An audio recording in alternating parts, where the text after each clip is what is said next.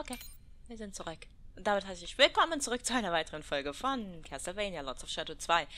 Ähm, ja, wir sind hier einfach so aufgetaucht. Und müssen jetzt wahrscheinlich zu Sobek rumlaufen? Hinlaufen?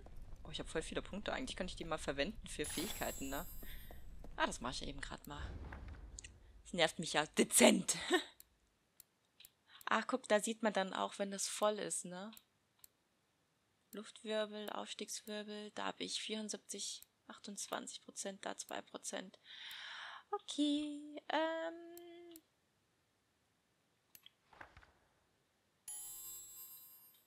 Konstante Peitsche.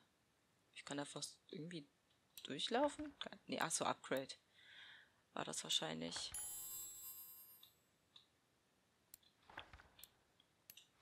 Nehmen wir das einfach.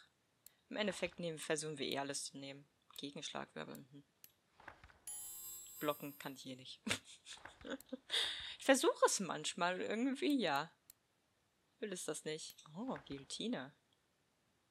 Ah, in der Luft X halten. Ach, habe ich jetzt gar nicht gekauft. So, jetzt aber. Jetzt habe ich das auch neu. Salto-Peitsche.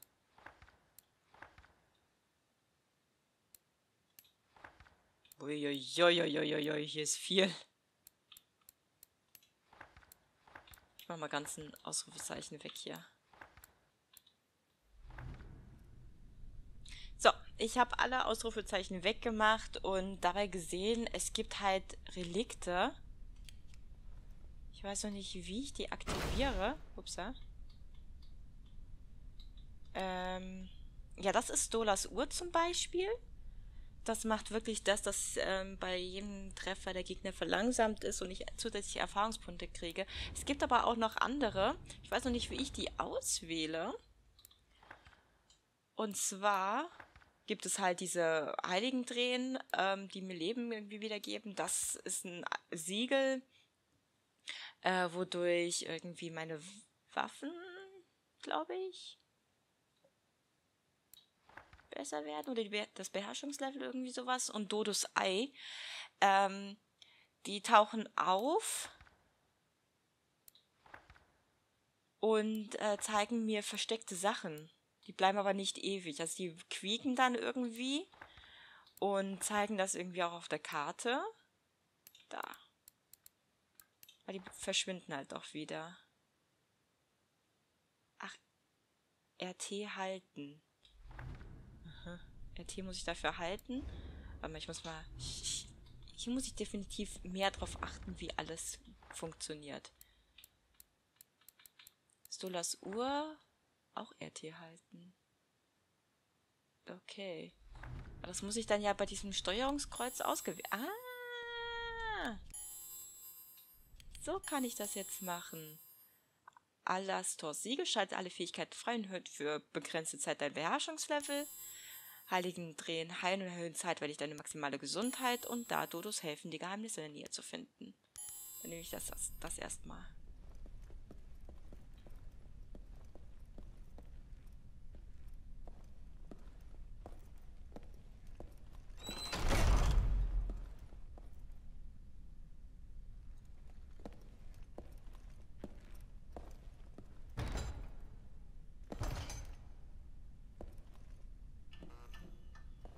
Stop playing around. Open it.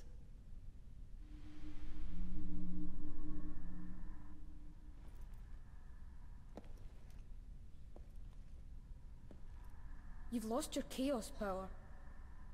Now the Gorgons have it. Uriale, Steno and Medusa.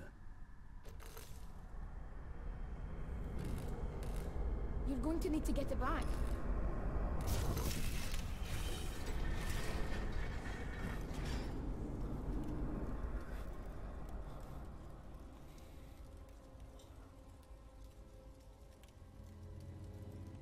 Schön, dann machen wir uns mal auf die Reise. Du hast doch nicht die nötige Kraft, um das zu zerstören. Ja. Ähm, unsere andere Macht zu wiederzubekommen, und zwar die Chaosmacht. Die Gorgonen haben sie. Das ist sehr beruhigend und gut zu wissen. Ja, ja.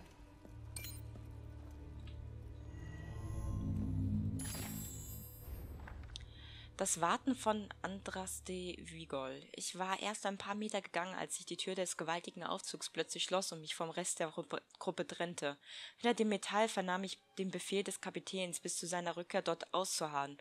Unsere Mission, den drei furchterregenden Wachen des Urchaos zu entwenden, hätte nicht mehr als einige Stunden in Anspruch nehmen dürfen. Jetzt ist aber schon seit mehreren Tagen fort, und ich fürchte, dass ich der letzte Überlebende in dieser Burg bin. Jetzt, wo meine Muskeln taub sind und Panik mein Herz erfüllt, versuche ich in der Erinnerung an mein geliebtes Heim Frieden zu finden. Ich erinnere mich an den traurigen Ausdruck auf den Gesichtern meiner Eltern, freundlichen, bescheidenen Bauern, als ich ihnen sagte, dass ich sie auf der Suche nach Abenteuern bei der Armee verlassen würde. Tja, blöd gelaufen, ne?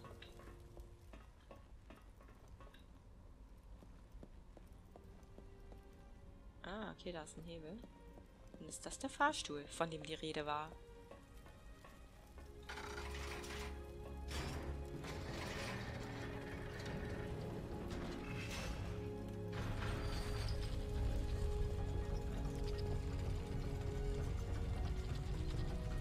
Stadt der Verdammten bin ich jetzt. Ich bin nicht mehr in diesem Bernardsflügel, sondern Stadt der Verdammten.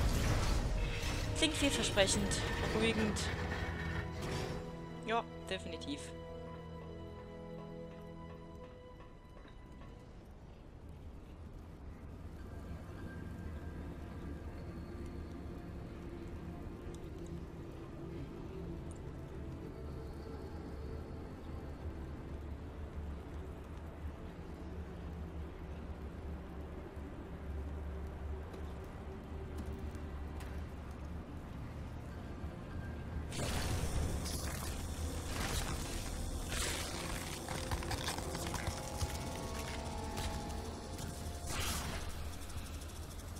Uriel. Beware of the jailers. They no longer serve their master. Wait. Medusa has your chaos powers.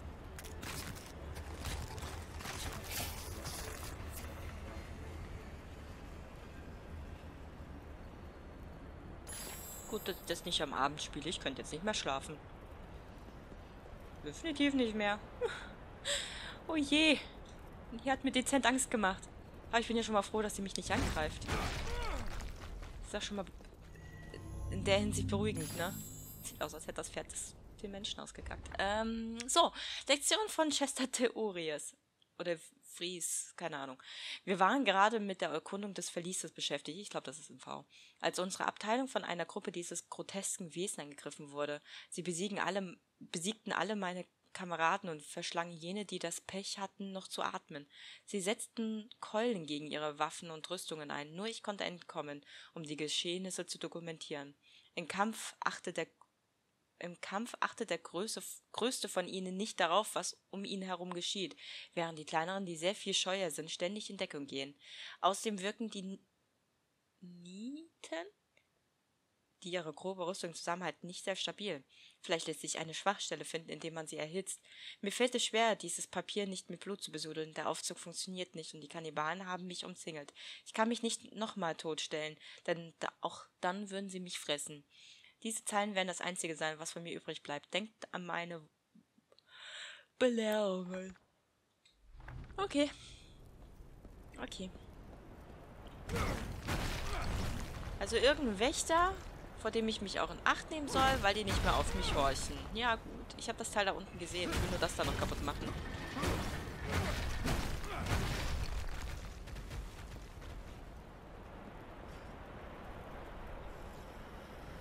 So, was ist es? Gesundheitsupgrade oder Leben? Le. Gesundheit oder Leben. Gesundheit oder Licht. Lichtupgrade. Ist diesmal nicht so spektakulär von der Melodie her. Im ersten Teil habe ich immer so gedacht, dann so, wow, jetzt hast du was erreicht, weil du halt dieses Upgrade gekriegt hast und das halt so schön dargestellt worden ist. Auch melodisch halt.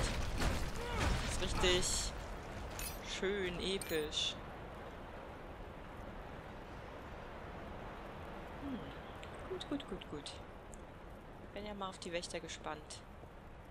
So ein bisschen ungutes Gefühl, aber okay. Das sind irgendwie Ketten, die da ins Wasser reichen. Aber wie wahrscheinlich ist jetzt, dass eine Videosequenz einsetzt?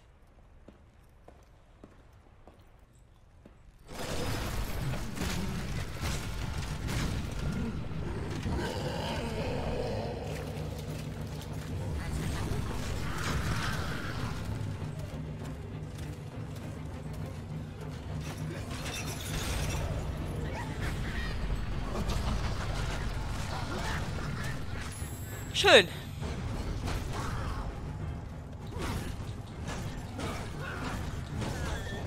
Aber die sollten doch kein Problem darstellen, ha?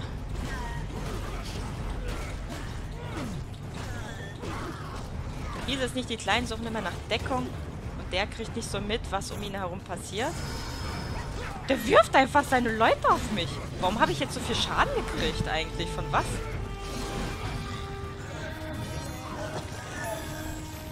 Der tötet die immer auf dieselbe Art und Weise. Ich habe das Gefühl, ich muss erstmal die Kleinen vernichten. Also zumindest kann ich denen Schaden machen. Bei den anderen... Vielleicht... Oh, ist ein bisschen anders diesmal.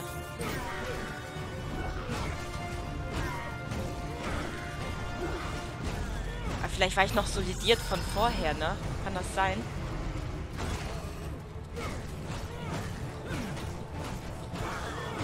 Das Gefühl, ich könnte ihnen jetzt Schaden zufügen, ne? Ja, kann ich tatsächlich.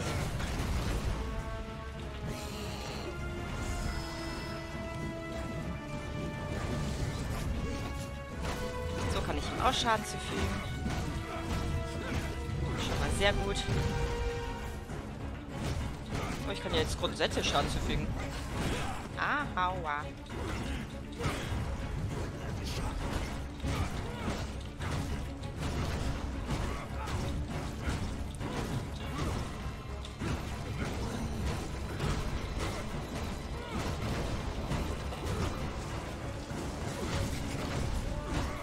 Klar, dass er sich da kleine Leutchen wieder dazu holt.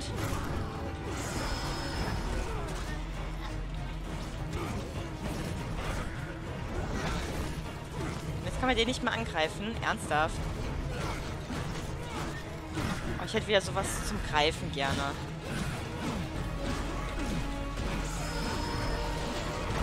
Autsch.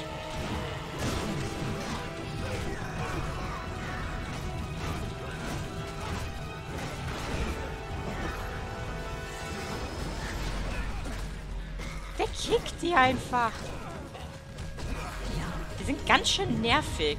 Muss ich ja mal sagen.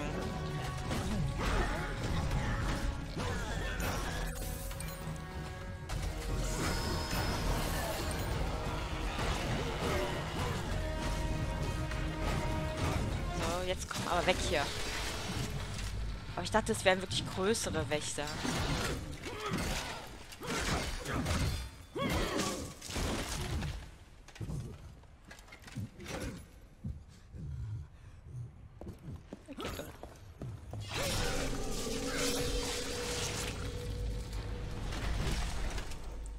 Das kein cooler Move war, dann weiß ich auch nicht.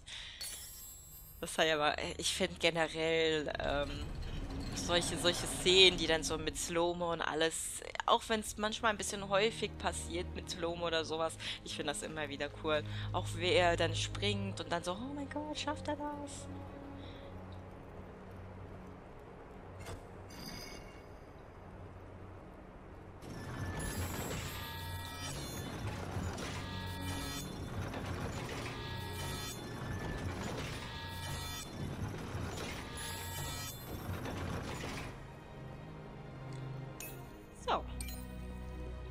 Das?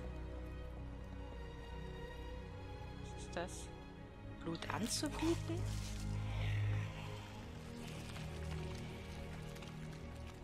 Auf der anderen Seite gegenüberliegend war auch noch was dergleichen. Geht es dann irgendwie auf? Ach, je nachdem. Jetzt geht die Tür auf, zum Beispiel. Kann ich mich ein bisschen umsehen?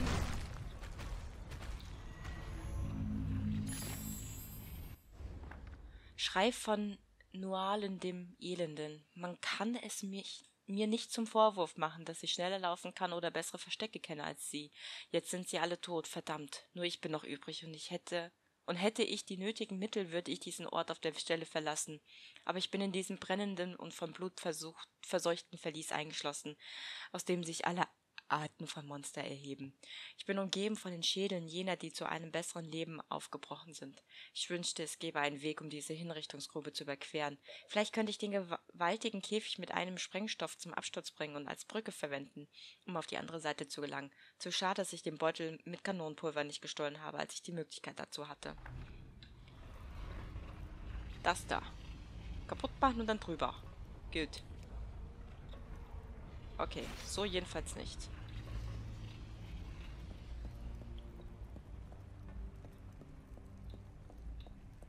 Guck mal, was befindet sich hinter dieser Tür?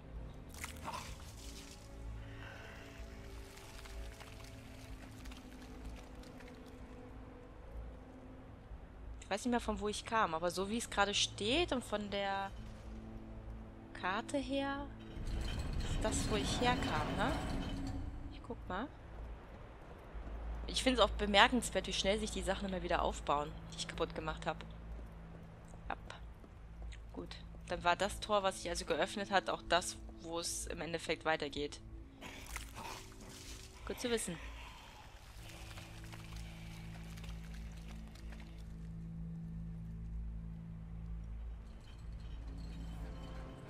Nun wieder auf Karten achten wäre auch ganz gut.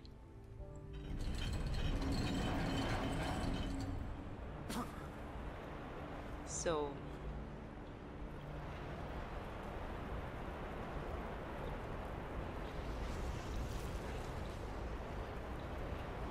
dachte gerade, es wäre irgendwas zu leben geworden, aber ist nur das. Da kann ich auf jeden Fall rüber, da leuchtet irgendwas. Würde ich mal gerne gucken. Ach, das ist das da. Was dann leuchtet. Kann ich von hier aus irgendwas erreichen? Sieht nicht danach aus. Das sieht nach einer sehr schönen Sprungpartie aus.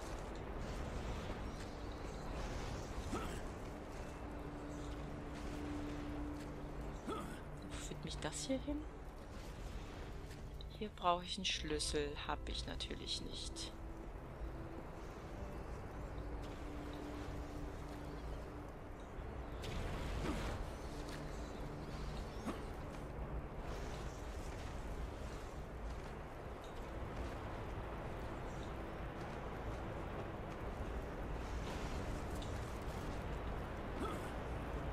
Das führt mich dann wieder zurück zum Wolf-Gedöns. Okay. Dann bleibt mir ja bloß noch der Weg hier, ne? Den ich noch nicht zuordnen kann. Wäh? Okay.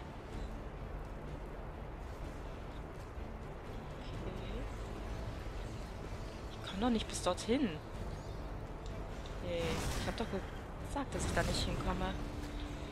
Hä? Dann bleibt mir jetzt nur doch nur der Wolf. Sehe ich das jetzt richtig?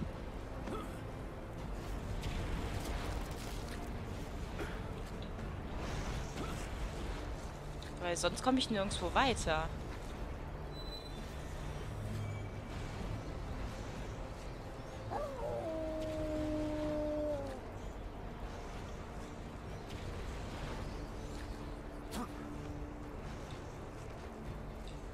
einen Schlüssel hier oben. Die anderen Sachen sind alle zu weit weg.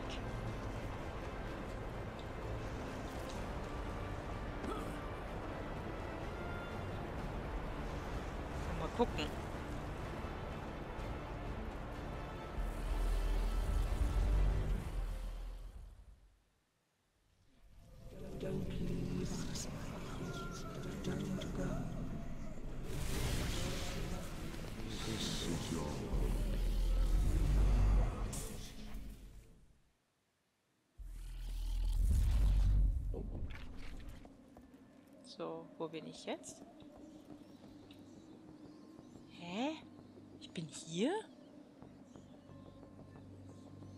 Aber warum? Warum bin ich jetzt hier? Führt mich das jetzt immer hier hin?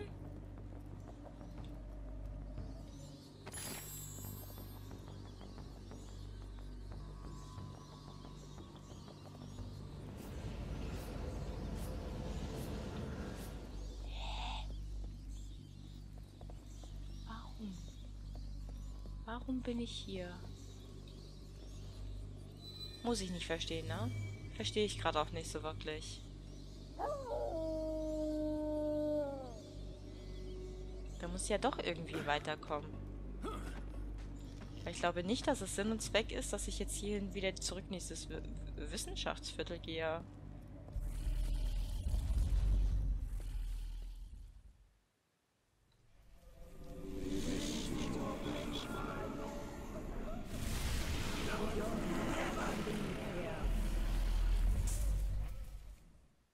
Ich bin dezent verwirrt. Ja, jetzt bin ich wieder bei der Stadt der Verdammten. Okay, ich habe keine Ahnung. Ich mache am besten einen Schnitt. Kann ich das ganze Revue passieren lassen und noch ein bisschen was ausprobieren und gucken, wie ich jetzt weiterkomme. Und bis dahin dann würde ich einfach sagen, sehen wir uns in der nächsten Folge wieder. Bis dann und tschüss, eure Tai.